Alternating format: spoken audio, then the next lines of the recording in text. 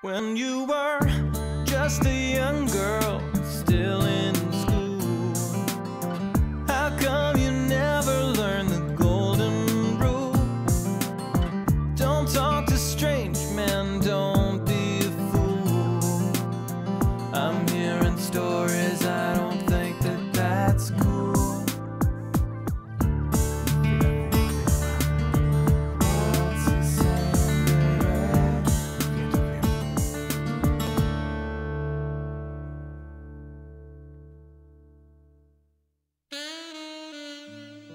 December 23rd, 1955. It was a day like any other. I was in the middle of a legal battle with my ex-wife, and I hadn't had a case in months. Just don't show weakness because she's a dumbass. My lawyer, Rob Pembroke, owed me a favor after an old case, so he was representing me on commission, which at this rate would be a whopping zero buckaroos. Ron neglected to mention that while he was a grade A sleazebag, he was a grade sucky lawyer. Listen, Miss Clements. I understand the grievances you have with your husband, but I see no reason for your divorce filings. Really? Do you have any idea how hard it is to support a household on an income of almost nothing? Johnny couldn't provide for me, and I couldn't handle the situation anymore. Listen, Miss Clements, you say there's no money coming in, but I have records that indicate a steady flow of cases. Check the dates, Rod, because those cases were almost a month apart, and Johnny never makes much anyway. Something about helping the innocent or something stupid like that. Listen, Johnny, do you have anything to say here? I kind of need your input. What? Uh, no. Nothing. Look, if we're done here, can I get out of here? I, I guess so. Miss Clements, can we continue this at a later date? Fine. I'll send my lawyers to collect the papers you've signed over then. Sounds good.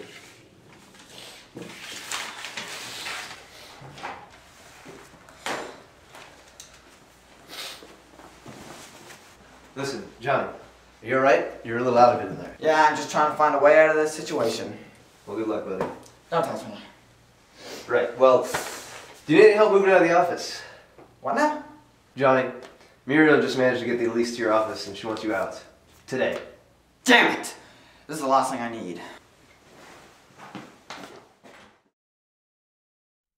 Things were looking grim. My last big job was finding the professor a year ago. Since then, the cases had dried up like a box of raisins. I had taken a few odd jobs here and there, but it was barely enough to make ends meet. The first thing I noticed when I walked into my office was a letter. It was from the professor, Adam Colton. I hadn't heard from him in a year. Why would he try to contact me now? Dear Johnny, I'm sorry to contact you so suddenly, but there is no one else I can trust. As you may know, I had just finished my research project when I was kidnapped, but whoever was behind it died before they could get their hands on my work. However, it appears someone is after me again. My sister was attacked, and I get the feeling that I am being followed. Please come to my apartment as soon as you can. Happy Hanukkah. The professor situation meant that I'd finally snagged a case. But why him? Obviously, whatever he was working on was big. As I closed the door for the last time, I didn't even pause. This case sounded like it would be a doozy. My gut told me I was in for a hell of a night, and my gut was never wrong.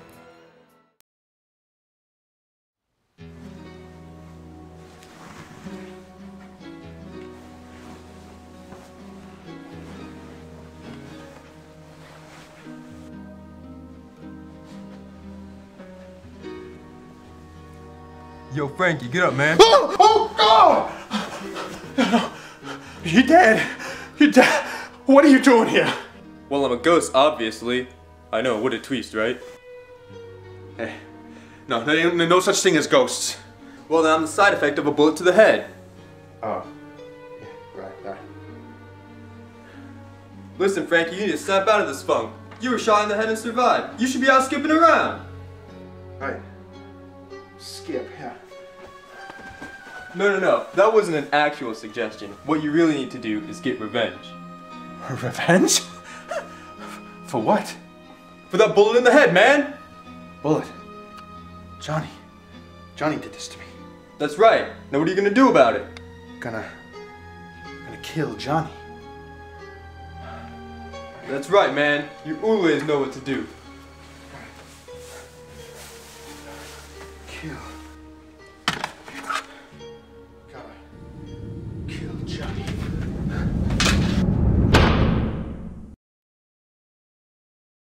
My new partner, Mac Pacelli.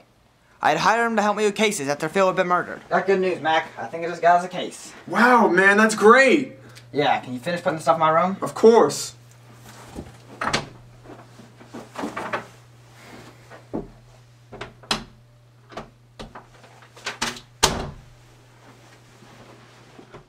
I headed over to Colton's apartment to find out what was up. It didn't look like there was any trouble afoot, but I knew looks could be deceiving.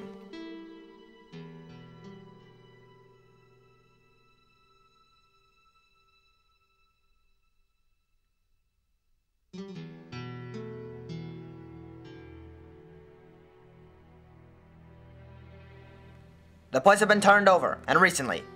Someone had been there looking for something, but it wasn't likely they found it. The mess indicated a frantic search.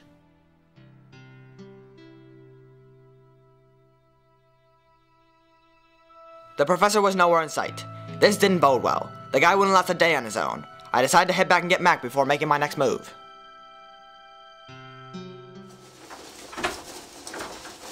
Looking for something, Mac? Oh, I was looking for more information on that case. We got nothing. Just a letter. Oh, I was just trying to help. Did Did you find anything out? No, his place is trashed. I think the professor's been kidnapped. You have to have some leads, don't you? Got nothing. We need a miracle, Mac. Just my luck. I need help and it comes a knocking. Come in. Well, this is a surprise. Sorry, Johnny, about coming so suddenly. Don't worry about it. I've been looking for you. Take a seat. Now tell me what's going on. I sent you that a few days ago. Well, I got that. Like I said, I think the guy who tried to kidnap me last year is trying to go after me again. Not a chance. The Irishman who kidnapped you last year, he's dead. Yeah, I figured you'd say that, but I'm sure someone's after me, after my research. Your research. You say that's the reason you were captured in the first place? Yeah, I finished my project and I was about to present my findings. What's so special about this research anyway? It's revolutionary, you see. I've discovered new methods of working with nuclear elements. If my theories are correct, we could find a way to harness nuclear energy on a smaller scale. So you're saying someone could create their own A-bomb? Well, yes, someone could use it as a weapon, but my interests are purely scientific. Either way, someone could stand to make a lot of money with this. Do you have any idea who'd want it? Unfortunately, no, but I've been managed to slip past the man who was chasing after me. I went to your apartment yesterday. It was all torn apart. Care to explain? Well, you're probably looking for this. There's certainly enough reason to want you dead. First thing to do is lay low. I'm gonna investigate and see if I can find out who's after you. Oh, thank you, Johnny. I owe you one. Two, actually. You get some rest. Me and Mac will stand guard. It looked like things were heating up. The professor's research was a gold mine and men would kill for it. I need to find out who was behind this and fast, or Colton was a dead man.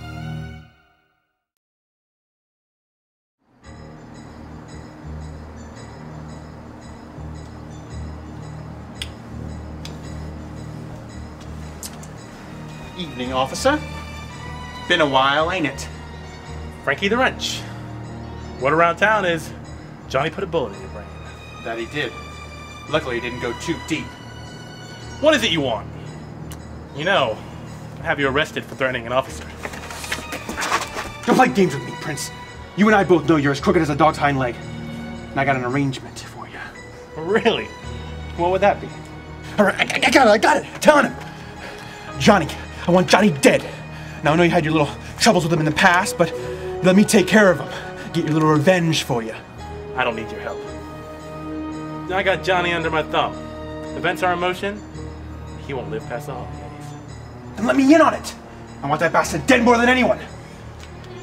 I can't, Frankie. You're a liability. Your condition is an inconvenience, and I can't have anything go wrong the next few days. Listen to me, you son of a bitch! I got it, I'm telling him! Shut up, I got it! Hold it! Listen, I'm fine. I'm the one with the gun pointing at you, and you're gonna do what I say! All right, all right.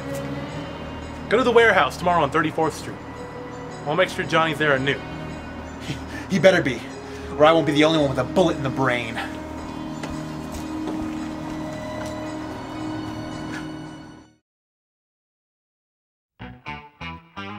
With no leads as to who was after the professor, I decided to visit Connor O'Toole. He was Packy's twin brother, so maybe he knew who had hired Packy a year ago. Hello, O'Toole. Well, well, if it isn't the infamous Johnny. You come to kill me like you killed my brother? Not today, Connor. Though I wouldn't hesitate. I actually need your help. You need my help? Now that's a real laugh. Why in the hell would I help you after you murdered poor old Patrick? I can report your little gun dealing operation to the chief of police. You see, cops these days don't take too lightly to arms dealers, now do they? You'd be in a world of trouble. All right, fine. Tell me what you want, but you better make it quick. All right. Who was Packy involved with when he captured the professor last year? Who hired him? All right, what makes you think someone hired him? You know, maybe he just wanted the ransom money.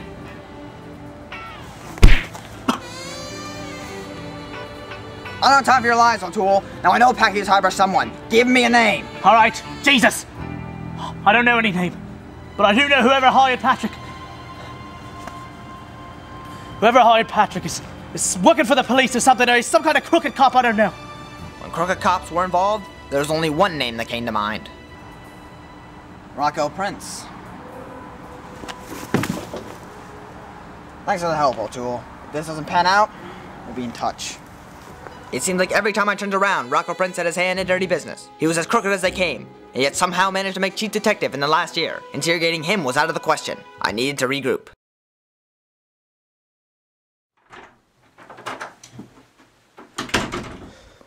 Oh, hey Johnny, got any info? Yeah, this thing is big. Rocco Prince is involved. Prince? Really? Damn. Who's Rocco Prince? He's a head detective here, and a crooked cop. It would be near impossible to take him down. Is there anything we can do? It depends. We need to get you to a safe place so no one can get their hands on your research. Well, I have some family out of town I can stay with, and I think of. Damn it, Mac! Call an ambulance! Mac?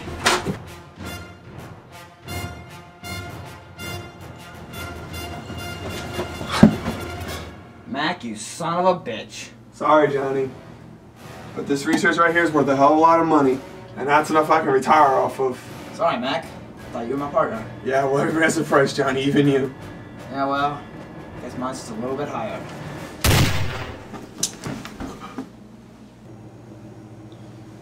Mac had betrayed me. And with the professor dead, this case had become a simple matter of staying alive. Professor, I'm sorry this had to happen to you.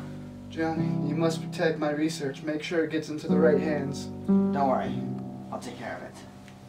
Avenge me. The professor's research was incredibly dangerous. I couldn't let Rocco get his hands on it. It was time for the two of us to have a meeting.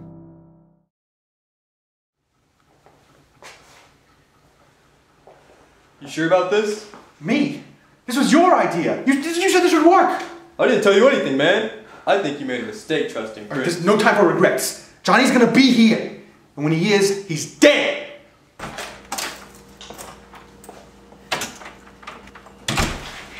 Huh. What the hell is this? Looks like trouble, man. I know that. It looks like you were right about Prince, too. Sorry, Frankie, but orders are orders. You're in the boss's way. He wants you dead. Funny. I feel the same way about him.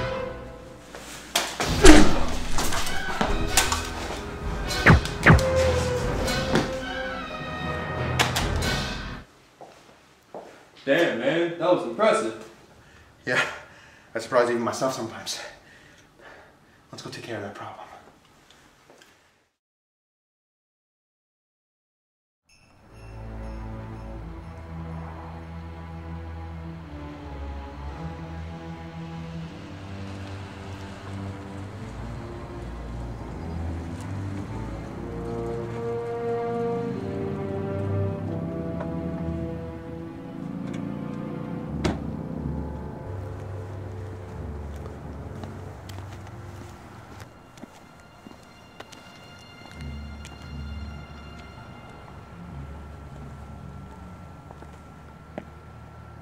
Well, well, Rocco.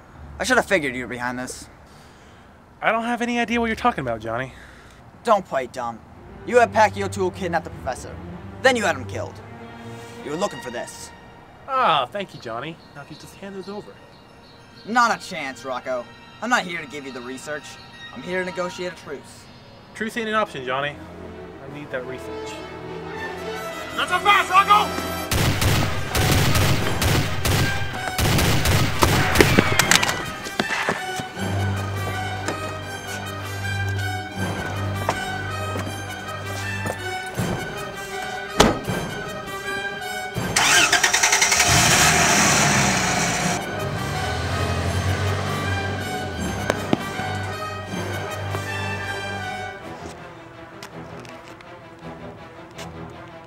Johnny.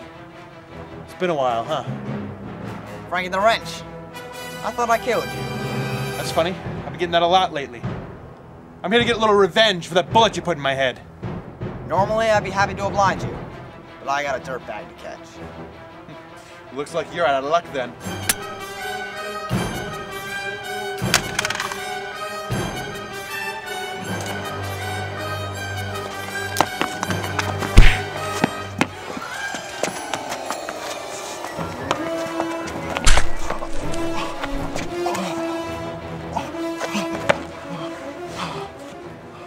There was no way I could catch Rocco now.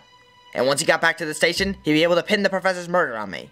A war with the cops was out of my league. But with something so dangerous out in the black market, someone had to stop it. If the cops couldn't do anything, I would have to.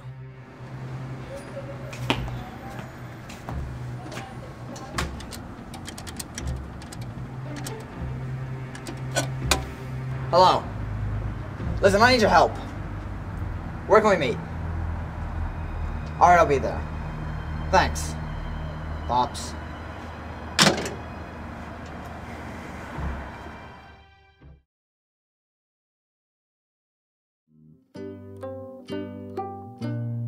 Just like last year, the number of loose ends was baffling. But this time, there was no happy feeling in my gut. I failed to keep the professor safe, my partner was dead, and a dangerous weapon was about to be unveiled. It was Christmas. In all the confusion, I'd forgotten. But it didn't matter this time. If I was going to stop Rocco, I need to get my hands dirty. Everything I worked for, my business, my reputation, were on the line. The time for games was over. This was war.